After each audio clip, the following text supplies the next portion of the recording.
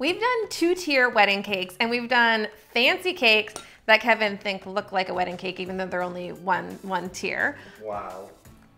We just started. but we've never done a celebration cake. And because it's Pride Month, happy Pride everybody, I wanted to do um, a rainbow cake and make something really fun and cool and celebratory. I've got a lot of hopes and dreams for this cake. As always, we're starting with our $20 sheet cakes and I'm taking off all the icing and get it ready to make it into something very different. When I started doing videos like this, I thought it was more of like a fun challenge, but you guys have turned it into like a hack where this is an easy way to like not bake a cake and not make icing and everything. And honestly, I'm feeling it because these kinds of videos are a lot less prep for me. I just get to come in and start the fun decorating process. Archie's also not okay with us filming today because he's decided to grab his toy and run around and be whining all morning. Uh, so the last hour we've spent trying to convince him that it's film day and not play day. But I don't think he's getting the memo. I'm gonna try to make it really tall to look very grand. I wanna cut out circles out of the center of the cake. Then I can fill said hole with sprinkles and candies. As always, I got some extra white icing for like 10 bucks. So I wanted to make sure that this icing didn't have any sprinkles, any crumbs, or any other color in it because I want to dye it every color of the rainbow. I want to do this like this pattern with icing. I think it's gonna look really cool when you cut it. Red, orange, yellow, green, blue, violet. I'm good. One time I messed up the order of the rainbow and people chewed me out for it. It was my bad. I wasn't even thinking. I was just kind of like colors. So now I roll above all the time to make sure I've got the colors in order and that I don't mess it up. So this is a lot of color for like this tiny little space. I hadn't really thought that part through because I've done this kind of pattern before, but not on such a small surface. Essentially, I need to fit in six colors on this tiny little ring. And then when you cut it open, you'll see little rainbow.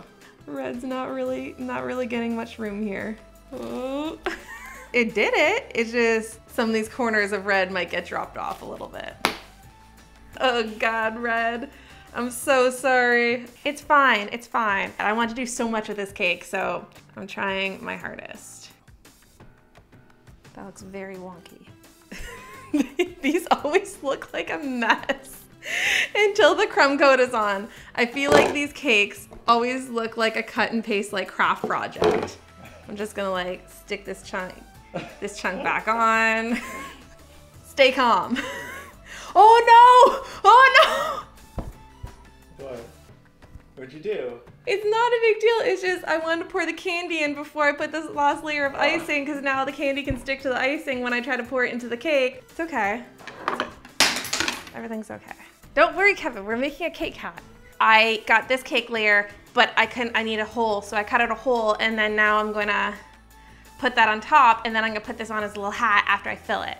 This is not my proudest moment. I feel like my mind is not working today and I'm just like messing everything up. I'm sticky. I need to clean up the table and then get ready for sprinkles. I went to the store, I got a bunch of different colors of these like chocolate covered pearls, but they were sold out of like everything. I wanted to get a bunch of different like textured sprinkles, like some jimmies and stuff too, and I just couldn't find them there. Apparently pandemic, everyone is sold out of sprinkles and things. Anyways, I'm mixing these all together to create like a really cool sprinkle blend. I think I made the perfect amount.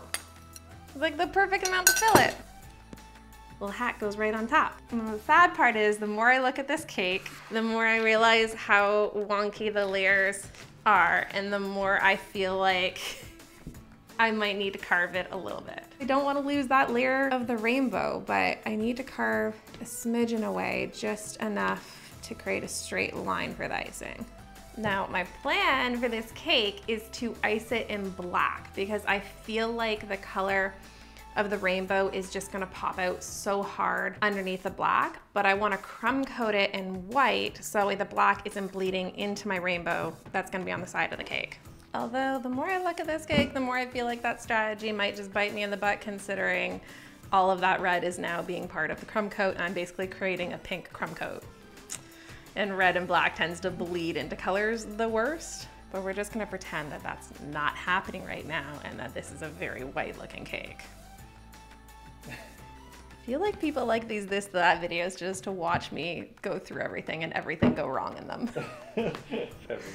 Every time. every time. I have a plan. This is what we're gonna do. An hour later, everything has gone to crap. All of a sudden, it doesn't look like a hot mess anymore. Does still look a hot mess? No, it looks a lot better. Okay. Before I get into the next step, I want to thank Skillshare for sponsoring this video. It is no secret that I'm a big fan of Skillshare, and that is not just because I have my own cookie decorating class on there. Skillshare is an online learning community with thousands of ad-free classes for all of us creatives out there, and they're constantly adding new premium classes. Whatever creative interest soothes your soul, Skillshare likely has a class on it. But if you're not sure what your creative outlet is but need some joy in your life, try exploring a new skill. I am just a die-hard creative at heart and really have dabbled in nearly everything on the creative spectrum. One of the things you guys probably didn't know is my love for photography. I've been diving into Instagram worthy photography with Brandon Woelfel, who I've been photo crushing on for so long. I love that Brand's class dives into camera gear and setting, but also gives insight to posing and shooting in different lighting. The first thousand people to click the link down in my description box will get a free trial of Skillshare's premium membership so you can explore your creativity. Now that I have all of the surprises inside and that joy and fun like sealed inside the cake, I wanna create the rainbow on the outside of the cake that's gonna be showing through the fault line. My thought is to just go around and pipe two lines of each color and then I can kind of smooth it out and pipe around it with black icing. I feel like it's gonna be an easy technique. I don't know why I'm saying that because now I feel like I'm jinxing myself. I've wanted to do a cake like this for so long because I love rainbows and with it being Pride Month, I thought this was the perfect month because I am a strong believer in love is love and I wanted to do a really fun rainbow cake to help celebrate that. I don't want them to be over blended, but like lightly blended, and I can't take off too much icing. So I've got to be careful here. Did you catch that elbow technique? You saw it. I was so proud because when you stop, you get those like harsh stop lines. I was like, oh no, no, no, no, no, I'm coming to the end because I was spinning it. And I was at this point with my arm and I was just like, carry on.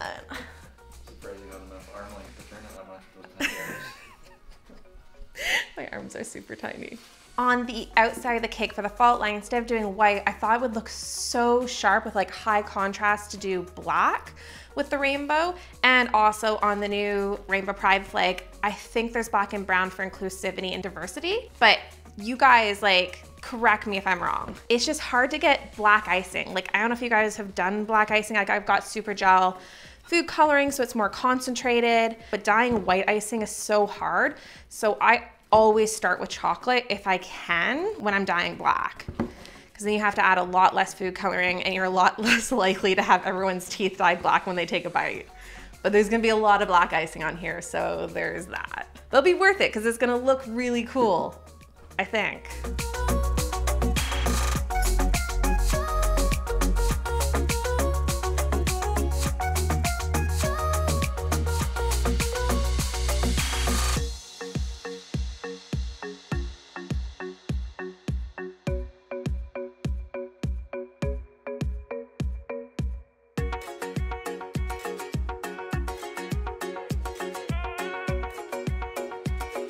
I tried to like dip low and dip up so it had this, you know, th this wave pattern going on.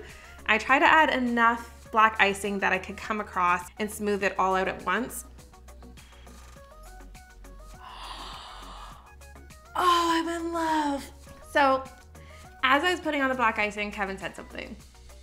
You said that you felt like the rainbow in this bright color and like joy and happiness was basically breaking free of this dark kind of crusted cake that's like holding it down. I just thought that was really beautiful.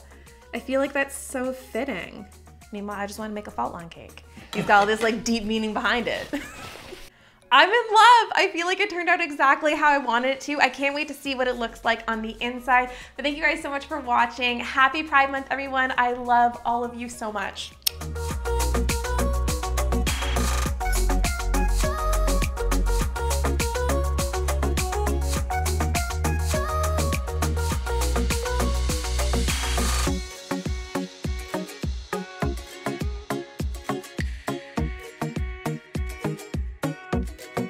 Thank you so much to Skillshare for sponsoring this video. The first thousand people to click the link in the description box will get a free trial of Skillshare's premium membership so you can explore your creativity.